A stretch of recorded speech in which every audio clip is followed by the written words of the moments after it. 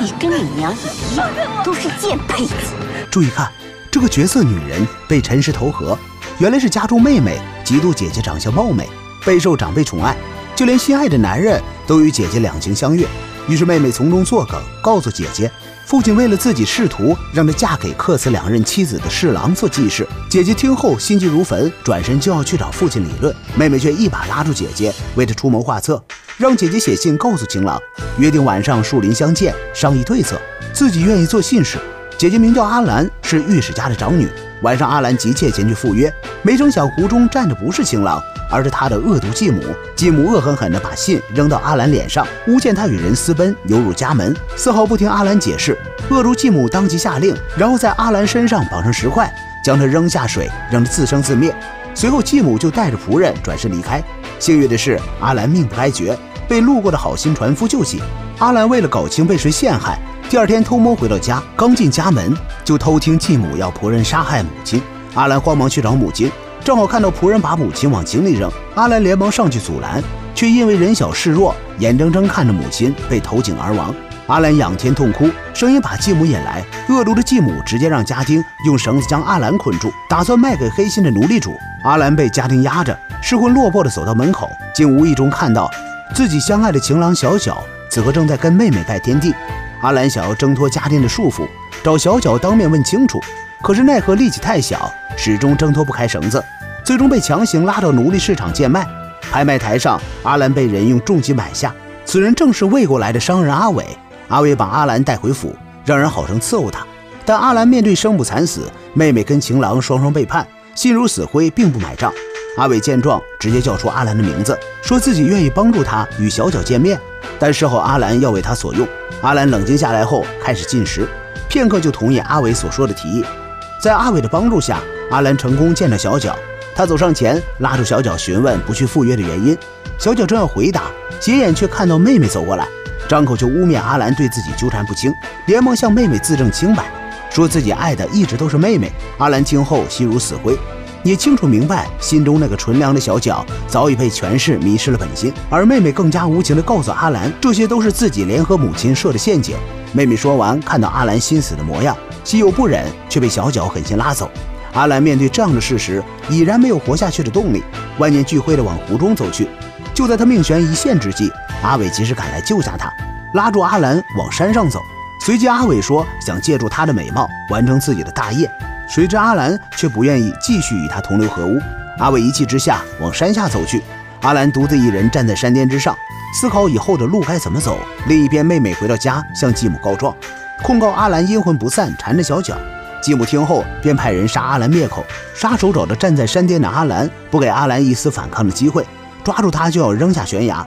谁知这时却被折返回来的阿伟再次救下。下山的路只有一条，那两个人来势汹汹，你这么精明不会猜不到。阿兰恐惧阿伟的算计，更不愿与他同流合污。阿兰失魂落魄地走在街上，想以后的日子怎么过，却碰到一卖鞋老媪被人撞倒在地。阿兰急忙上去帮忙，言语间得知瞎了眼的老媪竟是婢女的母亲。阿兰自知愧对婢女，又看到孤零一人的老媪十分可怜，就决定留下侍奉为自己赎罪。老媪得知阿兰的遭遇，把她带回自己茅草屋，两人相依为命。殊不知正是这个举动，害得老媪也没了性命。这天，阿兰为了给老媪治病买药，于是到街上卖草鞋筹钱。怎料草鞋没卖出去，他却被突如其来的石头砸中额头，当下便血流不止。这幕被茶楼上看戏的妹妹看到，她连忙下楼慰问姐姐情况。阿兰不想理睬，转身要走，妹妹却以姐姐生母埋骨之地做威胁，把阿兰带到偏僻之处，让她跪下求自己。阿兰不愿意相信自己往日疼爱的妹妹变成现在这个模样，说她想要什么，自己都会双手奉上。余为不识借来之事。阿兰看着恶语相向的妹妹，明白事已至此，多说无用。便只好跪下来，忍气吞声地求他，告知自己母亲葬在何处。妹妹看到阿兰如此狼狈的模样，即使再嫉妒姐姐，也心生不忍。于是，在分别之际，告诉了阿兰母亲的埋骨之地。阿兰冒雨找到母亲坟头，却看到许久不见的父亲。阿兰忙上去哭诉这段时间的遭遇。求父亲为自己做主，谁知却从与他的交谈中得知，自己沦落到如今的地步，父亲都参与其中。阿兰听后发誓要靠自己替母亲报仇。他跪别母亲后，走在街上，想要给老偶治病，又没钱，纠结无奈下，拿出自己的玉佩，找到当铺典当首饰。阿兰拿着好不容易换来的草药，急忙回到老偶住处，谁知刚好遇上给予他美色已久的邻居。阿兰用剪刀以此相逼，引来不少百姓围观。邻居小刘羞愧不已，又害怕事情闹大，只好灰溜溜的回家。他回到家中，越想越气，听小弟的建议，带着人就找到阿兰住所，兴师问罪。老媪冲上前去阻止，慌乱间打翻烛台，火势逐渐蔓延。小刘看到后慌乱不已，吓得连忙撤退。阿兰买药回来，入眼一片火海，温馨的茅草屋没了，老媪被大火无情烧死。阿兰痛不欲生地跪在老媪的尸体旁。阿伟在暗处看着跪在地上面无表情的阿兰，他带着手下终于露面，满脸真诚地劝说阿兰与他合作，才是最正确的路。死死抱住自己那点可怜的自尊心，根本不济事。阿伟耐心劝说，但见阿兰依旧不为所动，正要转身离去，阿兰说自己愿意跟他回家，但也要阿伟履行当时承诺。阿伟满脸欣喜地答应，随后带阿兰回府，让着学习琴棋书画。阿伟请城内最好的乐师上门教导阿兰。瑶姬体态优美，舞姿轻盈。越是让领舞瑶姬上前做示范，让阿兰能记多少记多少。阿兰自信跟跳，她优美的舞姿，可人的身段，赢得满堂喝彩。阿伟也被深深吸引。从那天开始，阿兰夜以继日的训练，很快便出类拔萃，成为新一代领舞。瑶姬看着被众人追捧的阿兰，心生嫉妒，便心生一计，冤枉阿兰偷东西，想让阿伟的父亲赶阿兰出府。阿兰识破他的计谋，侥幸躲过去。瑶姬计谋没有得逞，反被阿伟赶出府。阿兰彻底成为舞队的领头人，他带着舞姬们刻苦训练，在城内留下美名。不久，阿兰被丞相大圣召见，他作为领头人为大圣献舞。阿兰优美的舞姿、动人的容颜，让在场所有的男人都看得如痴如醉。阿兰被大圣所欣赏，阿伟见此情况，想让阿兰趁赵王选妃，做赵王的妃子，为自己仕途铺路。没成想，阿兰自私的父亲也在其中。看到自甘堕落的阿兰，把他强带回家。回到家中，父亲为了荣华富贵，又再次把阿兰送给侍郎做继室。阿兰不愿，并质问：“为了荣华富贵，你当真没有半分愧疚吗？”父亲被阿兰气得恼羞成怒，一巴掌拍过去。阿兰见父亲还是如此自私，心中一片悲凉，就一头撞上柱子。阿兰醒来，开始装疯卖傻。妹妹与继母感到事有蹊跷，便拉着阿兰进猪圈试探他。阿兰被扔进去后，抓起猪粪就往嘴里塞，以此来证明自己确实是真的疯了。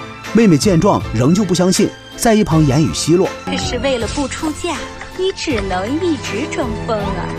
阿兰气愤不已，抓起猪粪扔在妹妹身上，妹妹躲避不及，被砸得满身都是。她落荒逃回房间，向母亲抱怨阿兰一日不除，小脚就对她一日不死心。母亲听后若有所思，晚上就让仆人送有毒的饭给阿兰。想借此让她彻底消失。阿兰装作吃得很开心的样子，不一会儿她就假装中毒晕倒在地。仆人急忙上前查看，却被阿兰用榔头砸晕。阿兰把仆人头发散开，身上涂满猪粪替代自己，而阿兰则趁夜色顺利逃出府。阿伟的婢女在门外接应他，阿兰急忙坐上马车。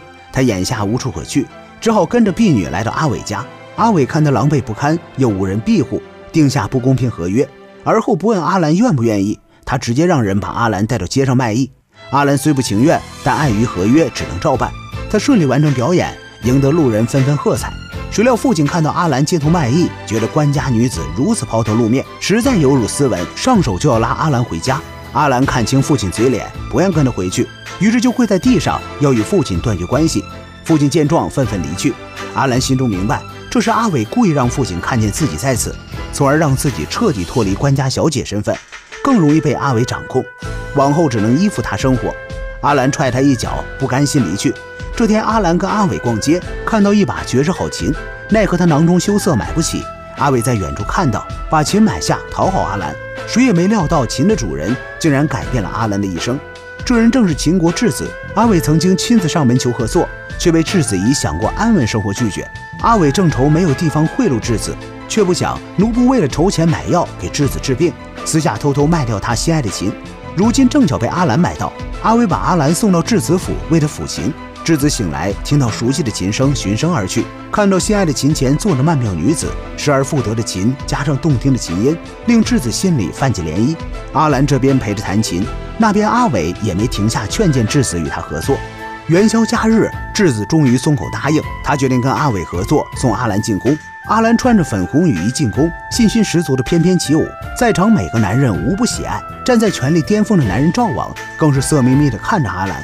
义舞结束，赵王正想赐阿兰做自己妃子，下一秒国师急匆匆赶来，说今日夜观天象，他掐指算出邯郸此刻有大劫，若不除去，国破家亡。说罢就指向阿兰。赵王听后若有所思，王后在一旁添油加醋，询问国师该如何。国师说出阿兰的生辰八字。说这跳舞曲子同邪曲一般，会祸乱朝纲。赵王让国师挑选良辰吉日，让阿兰祭天报国。质子同看上阿兰的丞相一起向赵王求情，让他放过阿兰。朝中大臣纷纷如失智一般同意国师所说，并劝谏赵王让阿兰祭天。阿兰纵是伶牙俐齿，也不如一个国家存亡来的重要，更是躲不过帝王的猜忌。阿兰无奈，眼看就要飞黄腾达，却被一个算命的破坏。其实国师早被公主收买，公主爱慕质子已久。只待有朝一日嫁他为妻，而阿兰天天为质子抚琴，两人日日陪伴，早被公主当作臆想出来的情敌，只想杀之而后快。于是公主联合国师一起设计，想让阿兰进宫有去无回。很快，阿兰被带到祭坛，只等天黑就要祭天。质子在与阿兰相处的日子中暗生情愫，有心救人，但人微言轻，只能送阿兰一杯解渴的水，聊表心意。消失已久的阿伟此刻被丞相带来，见阿兰最后一面。